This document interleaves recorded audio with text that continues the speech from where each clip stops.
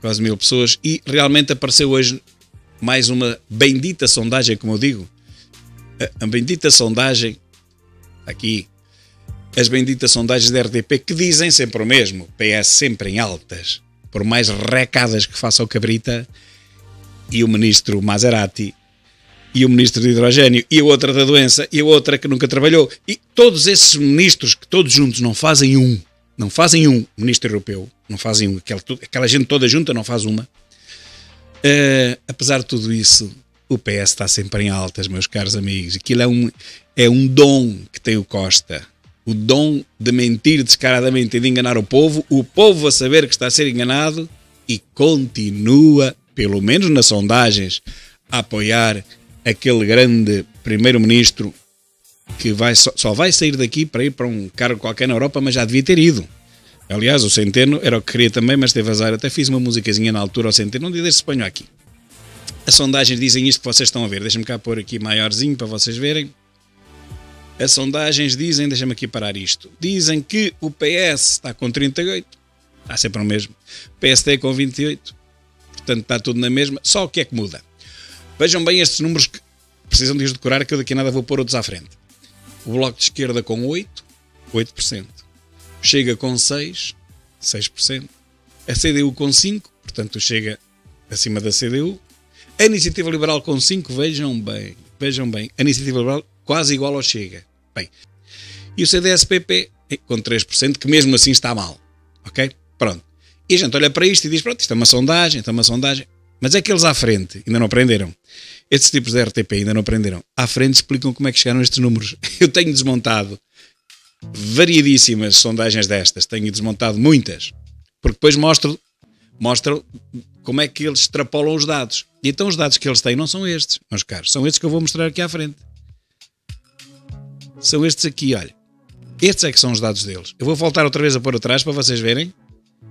Estes são os dados que eles dizem que são a sondagem. E depois aqui à frente, esta parte aqui é importante. Ora, ouça. PCP e Bloco de Esquerda mantêm a maioria com 51%. Esta estimativa foi feita com base nestas intenções diretas de voto. 31% dos inquiridos não sabem ou preferiram não responder. Estes são os resultados da sondagem segundo segundo a RTP. Mas, por exemplo, o PS, 38%. Agora vamos lá ver quais foram os resultados reais que receberam. 24. Vejam a primeira coluna.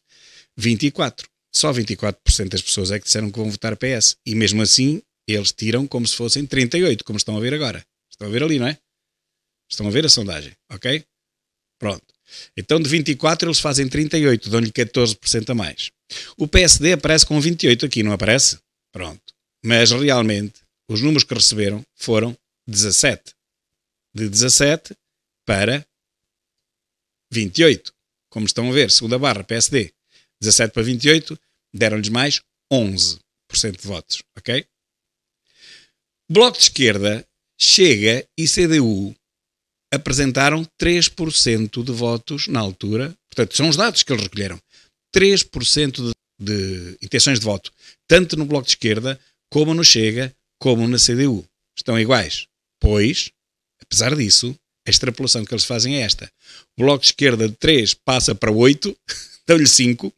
O Chega que tinha os mesmos 3, mas tem que ter paciência, fica só com 6, com, os mesmos, com a mesma base de dados de início. E a CDU, que também teve os mesmos 3, fica com 5. Porquê? Porque isto, estes valores que eles receberam, isto é uma treta, isto não é significativo. Ele próprio diz, o pivô, diz que 31% das pessoas não recusa-se a responder por causa das perseguições e da falta de democracia de, de, de, países esquerdófilos como o nosso, não dizem. Muitos dizem, mas outros não. Outros guardam-se e dizem, não, eu não sei, eu não vou responder, não vou responder. Quem não responde não é de esquerda, quem não responde é de direita. E 31%, ou seja, um terço da base de dados que eles obtiveram, foram mil e poucos votos, um terço não respondeu, meus caros. Ok? Vejam bem, um terço não respondeu. E portanto, isto é falso. Vocês olham para isto e dizem, não pode ser. Bloco de Esquerda com 3, chega com 3, CDU com 3. Pois, mas foi isto que eles receberam das intenções de votos. E transformaram este 3-3-3 num 8-6-5. Isto é completamente falso. Isto é manipulação completa dos dados. Ninguém lhes permite, ninguém lhes pode permitir. De estatística percebo eu. Ninguém lhes pode permitir fazer uma extrapolação destas. Com a mesma base de dados para todos, um salta para 8, outro que tem a mesma base salta para 6 e o terceiro fica com 5. Podia ser ao contrário. Porquê é que fizeram isto? Não há maneira de, de, de, se passar de 3, 3, 3 para 8, 6, 5. Não há hipótese. Esta sondagem é falsa, é falsificada. E aqui está. É que eles ainda mostram, estes tipos, como eles acham que ninguém percebe nada disto, eh, para mostrarem uma certa transparência, mostram os dados, mostram o back-office. E com o back-office que eles mostram, ingenuamente, dá para nós percebermos que isto é tudo falso, o que está aqui. Então, como já viram, os números não têm nada a ver com o que na realidade acontece. Porque o que acontece é o que está aqui. Estes são os números que eles obtiveram: 24, 17, 3, 3, 3 e depois 2, 2, 2. Isto foi o que eles obtiveram. Isto foi o que eles recolheram destas 1200 e tal, está aqui a dizer, 1123 inquéritos válidos. Ok? 1123 inquéritos válidos. O que eu questiono é apenas isto. O que eles receberam, o que eles obtiveram, foram estes números que aqui estão: 24, 17, 333, 222.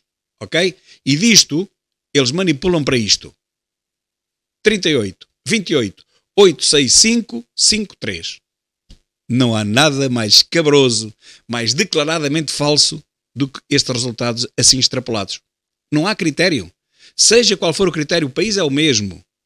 Se de 3 eles extrapolam para 8, vai-se lá saber com que algoritmo, então os outros 3 ao lado, que são do Chega, também tinham que ir para 8. E os, e os 3 da CDU também tinham que ir para 8. Ou então vice-versa.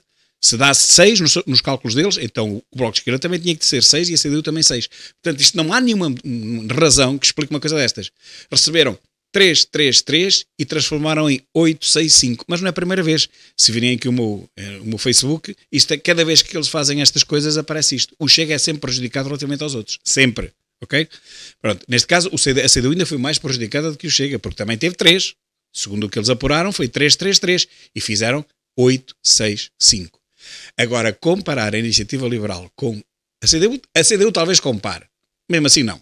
Agora, com o Chega, o Chega tem pelo menos o quádruplo da votação da, da iniciativa liberal. No país inteiro. Não digo que numa, numa freguesia de Lisboa, que no centro de Lisboa, que as coisas não estejam mais ou menos equiparadas. Dou isso de barato. O Iniciativa Liberal é um partido urbano, tal como o Bloco de Esquerda, e o Chega é um partido eh, nacional. Portanto, está em todo lado. É capaz de, em Lisboa, pois jogarem ali tete a tete, mano a mano. Mas no resto do país, esqueçam. Não há, aliás, todas as sondagens dizem isso, não é?